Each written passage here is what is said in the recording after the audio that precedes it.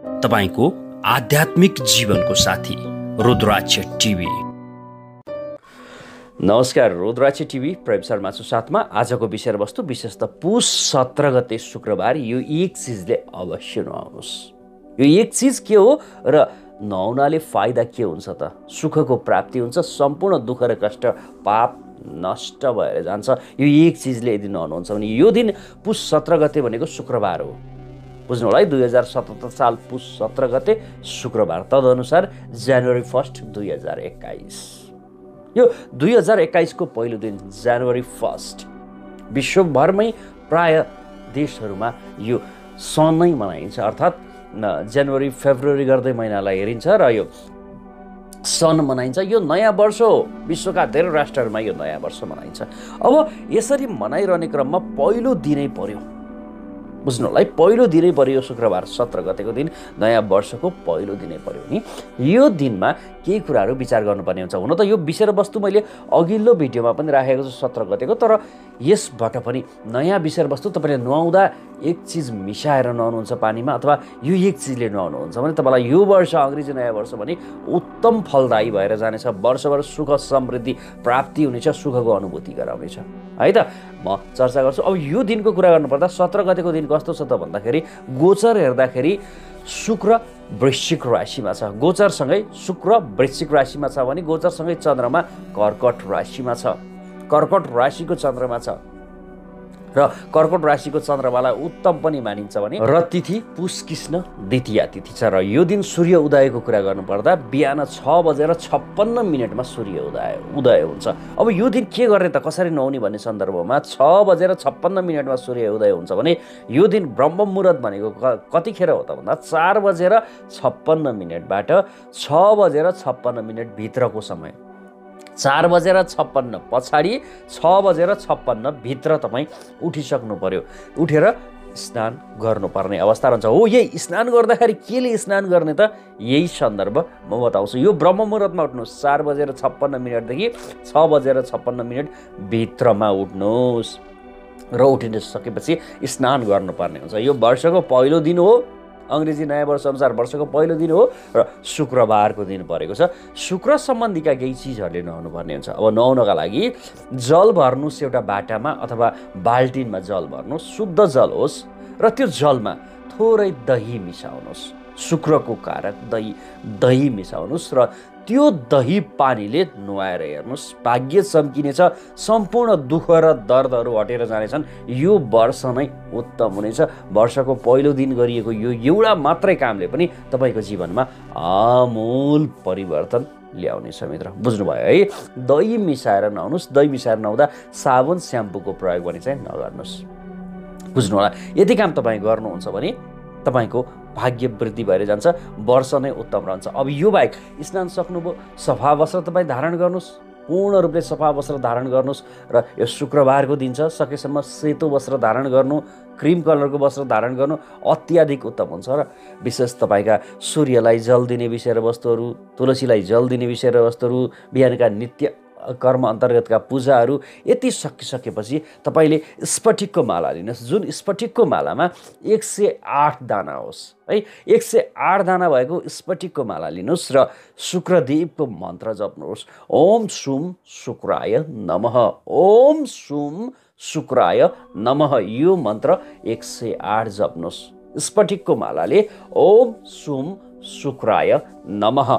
यो मन्त्र एक सय आठ जप्नुहोस् यति गर्नुहुन्छ भने पहिलो दिनै शुक्रबार छ। शुक्रदेव प्रसन्न रहनेछन् र शुक्रदेवको यो प्रसन्नताबाट तपाईँको जीवनमा आमूल परिवर्तन आउनेछ।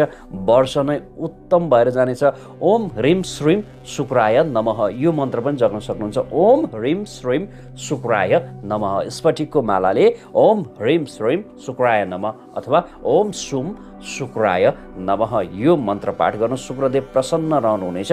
वर्ष भने शुक्रदेवको विशेष त यो कृपाबाट तपाईँलाई खुसी मिल्नेछ आनन्द मिल्नेछ र सुखको अनुभूति प्राप्त हुनेछ। भौतिक जीवनका सुख र समृद्धिहरू तपाईँले प्राप्त गर्नुहुनेछ। त्यो कारणले गर्दा पनि मैले विशेष बताएँ कि यो पुस सत्र गते शुक्रबार महत्त्वपूर्ण शुक्रबार हो। यो महत्त्वपूर्ण शुक्रबार गरिएको कामले तपाईँलाई यो दुई हजार एक्काइसभर नै सुख र समृद्धि वैभव र ऐश आराम मिल्नेछ।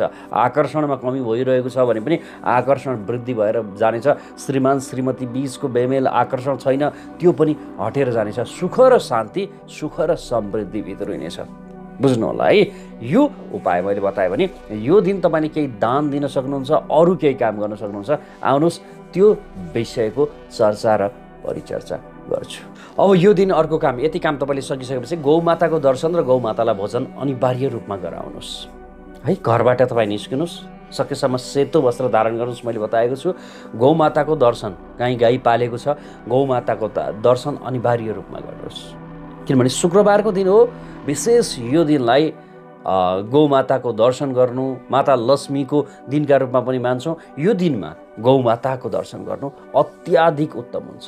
गौमातालाई भोजन गराउनु अत्याधिक उत्तम हुन्छ। तपाईँले केही न केही लगेर गौमातालाई रोटी यस्तो चिजहरू यो भोजन गराउनुहोस् गौमातालाई र गौमाताको दर्शन गर्नुहोस् पूजा गर्नुहोस् विशेष तर सात परिक्रमा गर्नुहोस्। दाहिनेतिरबाट गौमाताको सात परिक्रमा गर्नुहोस् र आफ्ना इच्छाहरू केही छन्। असन्तुष्टि छ त्यो पुरा होस् भन्ने तपाईँको चाहना छ केही चिजहरूको अपेक्षा त्यो तपाईँले प्राप्त गरिरहनु भएको छ भएको छैन त्यो कारणले तपाईँलाई असन्तुष्टि छ त्यो पुरा होस् भन्ने केही कामना छ भने त्यो कामना गर्नुहोस्।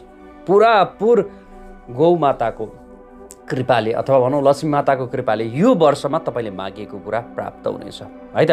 पूजा गर्नुहोस् र घन्टी बजाउँदै सात परिक्रमा गर्नुहोस् र मनमनै गौमातासँग आफ्ना इच्छाहरू राख्नुहोस्। आधी घन्टा पैँतालिस मिनट त्यहाँ समय बिताउनुहोस् गौमाताको खानामा बिताउनुहोस् पूजामा बिताउनुहोस् र गौमाताको सम्पर्कमा बसिरहनुहोस्। तपाईँ आधी घन्टा पैँतालिस मिनट। बस यति काम गर्नुहुन्छ यो शुक्रबारको दिन पनि विशेष तपाईँलाई पुण्यात्मा बनाउँछ। तपाईँले इच्छाएका सोचेका कुराहरू पुरा हुन्छन्। यसै गरी अब दानको सन्दर्भ पनि महत्त्वपूर्ण छ। यो दिनमा दान गर्नु अत्याधिक उत्तम हुन्छ। कस्तो चिज दान गर्ने त भन्दा छिर्के बिर्के कपडा दान दिनुहोस्। कुनै गरिबलाई छिर्के बिर्के कपडा दान दिनुहोस् भन्नुको अर्थ कुनै पनि प्रकृतिको निर्धन व्यक्ति छ त्यस्तो व्यक्तिलाई छिर्के बिर्के कपडा दान दिनुहोस्। चामल दान दिनुहोस् यसले पनि उत्तम फल तपाईँलाई प्राप्ति हुन्छ। घिउ दान दिनुहोस् यसले पनि उत्तम फल प्राप्ति हुन्छ। चाँदी दान दिनुहोस् अथवा हिरा दान दिन सक्नुहुन्छ तपाईँसँग गच्छ छ क्षमता छ भने हिरा दान दिनुहोस् अथवा यो मैले लगाइरहेको ओप्पल हो यो ओप्पल दान दिन सक्नुहुन्छ। सुगन्धित चिजहरू केही दान दिनुहोस् अर्थात् अत्तर दान दिनुहोस् बडी स्प्रे सेन्ट यस्तो प्रकृतिको चिजहरू दान दिनुहोस् श्रीखण्ड दान दिनुहोस्। बुझ्नु होला है? श्रीखण्ड दान दिनुहोस्। दुहुनी गाई सक्नुहुन्छ भने दान दिनुहोस् दही दान दिनुहोस्। कन्यालाई भोजन गराउनुहोस् बाह्र वर्षभन्दा मुनिका कन्यालाई भोजन गराउनुहोस्। यति काम तपाईँ गर्नुहुन्छ भने यो वर्ष तपाईँको उत्तम भएर जानेछ शुक्रदेवको कृपाले। पहिलो दिनै शुक्र शुक्रबार परेको छ त्यो कारणले यी विषयवस्तुहरू बताएभित्र भिडियो पूर्ण रूपमा हेर्नुहोस् सेयर गर्न नभुल्नुहोला। चिना टिप्पण तपाईँ केही देखाउन चाहनुहुन्छ घरको वास्तु देखाउन चाहनुहुन्छ। तपाईँ सम्पर्क गर्न सक्नुहुन्छ। फर एपोइन्टमेन्ट भनेर लेखिएको छ यो नाम दर्ता गराउने नम्बर हो। फोनैबाट हेरिने विषयवस्तु रहँदैन तर नाम दर्ता गराउनको लागि कार्यालय कहाँ छ भनेर बुझ्नका लागि र आफ्नो नाम दर्ता गर्नको लागि तपाईँ सम्पर्क गर्न सक्नुहुन्छ। होइन यदि फोनबाटै अथवा अनलाइनैबाट हेर्नुपर्ने अवस्था हो तपाईँ टाढा हुनुहुन्छ भने पनि यसका केही प्रोसेसहरू छन् केही नियमहरू छन्। त्यो नियम पालना गरिसकेपछि भने हेर्न मिल्ने अवस्थाको सृजना हुन्छ मित्र। हस् हेरेर साथ दिनुभयो। धेरै धेरै धन्यवाद। प्रेम शर्मा बिदा हुन्छु।